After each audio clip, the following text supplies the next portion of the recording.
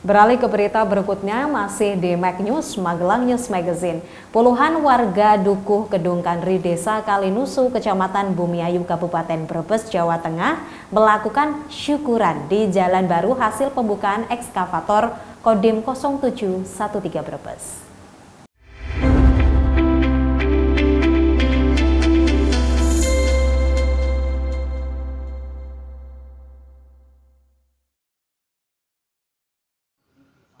Puluhan warga Dukuh Gedung Kandri, Desa Kalinusu, Kecamatan Bumiayu, Kabupaten Brebes, Jawa Tengah, melakukan syukuran di jalan baru hasil pembukaan ekskavator Kodim 0713 Brebes mulai tanggal 15 Agustus hingga 22 September 2020. Minggu 27 September 2020. Acara digelar sangat sederhana dan dengan penerapan protokol kesehatan yaitu wajib memakai masker dan doa yang dipimpin oleh Ustadz Furi. Dijelaskan kepada desa Kalinusu, wasit, acara tersebut sebagai bentuk syukur kepada Tuhan Yang Maha Esa atas karunia jalan tembus ke desa Kalinusu sepanjang 2,2 km dengan lebar 4 hingga 6 meter yang sudah mereka impikan sejak puluhan tahun lalu.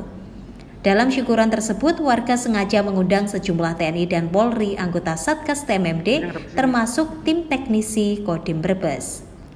Menurutnya jalan baru yang masih tanah itu benar-benar akan membebaskan warganya di Duku Gedung Kandri dari keterisoliran. Ibu Ida Royani, RT 1 RW 1 Duku Gedung Kandri mengaku senang dengan telah dibuatkannya jalan hingga tembus saat ini. Dengan masakan ala kadarnya, seluruh masyarakat membantu memasak untuk menyiapkan acara tasyakuran tersebut. Ini lagi acara apa ini Bu? Ini rencananya mau syukuran atas jalan yang dikasih sama pemerintah. Hmm.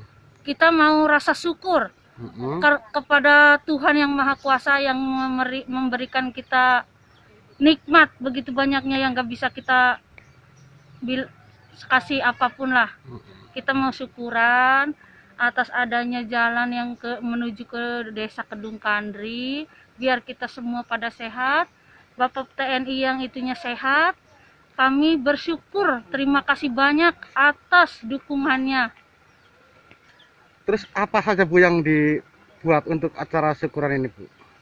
Ada nasi tumpeng nasi putih nasi ada nasi uduk terus ada lawu-lawuhnya berikutnya terus coel-coel Berapa orang ibu yang masak ini hari? Ya banyak, hampir semua. Hampir semua. Hampir semuanya nge ngebantuin ya ala kadarnya. Yang hmm. khusus masak itu yang di sini, ibu-ibu yang udah biasa. Kita ngebantuin ya ala kadarnya. Uh, warga pedukuhan Kedung Kandri semua bu ya? Iya. Untuk diketahui, warga Duku Gedung Kandri sebelumnya harus menyeberangi Kali Pemali dengan perahu atau rakit untuk mendapatkan fasilitas pendidikan, kesehatan, dan ke pasar terdekat yang ada di wilayah kecamatan tetangganya, yaitu Kecamatan Bantar Kawung. Mereka harus membayar ongkos rakit Rp1.000 per kepala atau Rp2.000 untuk sepeda dan Rp5.000 untuk unit sepeda motor. Tak hanya itu, jika hendak mendapatkan pelayanan admin duk di kantor Balai Desa Kalinusu, setelah menyeberang rakit mereka harus melanjutkan perjalanan darat sejauh 8 km dalam waktu 45 menit lebih dengan melewati sejumlah desa di wilayah kecamatan tetangganya itu, kemudian ke wilayah kecamatan Bumiayu hingga akhirnya sampai ke kantor balai desanya tersebut. Tim Liputan melaporkan.